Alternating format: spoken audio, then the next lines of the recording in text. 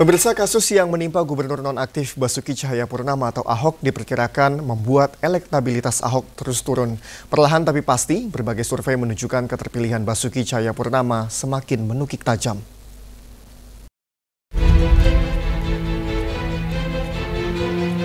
Perlahan tapi pasti, berbagai survei menunjukkan keterpilihan Basuki Cahayapurnama semakin menukik tajam.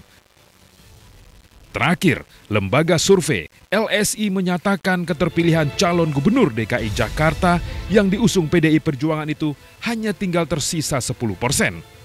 Sebaliknya, pasangan Anies Baswedan dan Sandi Uno memimpin di urutan pertama. Kita bedah datanya, ini eh, golongan-golongan atau kelompok-kelompok yang awalnya itu menjadi basis utama dari Pak Ahok Jarot itu juga ternyata ikut meninggalkan Ahok Jarot. Nanti kita lihat aja ke depan seperti apa. Tapi intinya adalah kami akan terus menjalankan yang kita kerjakan, yaitu kami ingin memajukan Jakarta, kami ingin memajukan warga Jakarta, dan konsentrasi kita terus pada persoalan-persoalan yang dihadapi oleh warga masyarakat di ibu kota ini.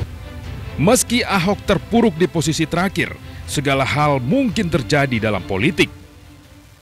Yang jelas kalau persoalan elektabilitas dan popularitas kan orang bilang popularitas kemudian elek, akseptabilitas kepantasan kemudian bicara elektabilitas tingkat keterpilihan. Nah kalau persoalan itu biar nanti rakyat yang menilai persepsi opini publik.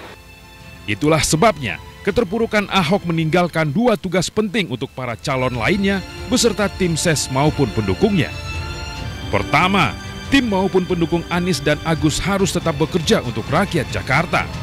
Kedua, tim maupun pendukung Anies dan Agus harus memastikan bahwa menjelang hari pencoblosan tidak ada upaya penggalangan suara dengan cara tidak terhormat. Karena sejarah membuktikan serangan fajar dalam bentuk sembako dan amplop uang menyakitkan pihak yang akhirnya kalah walau sudah berjuang maksimal. Tim Liputan MNC Media melaporkan.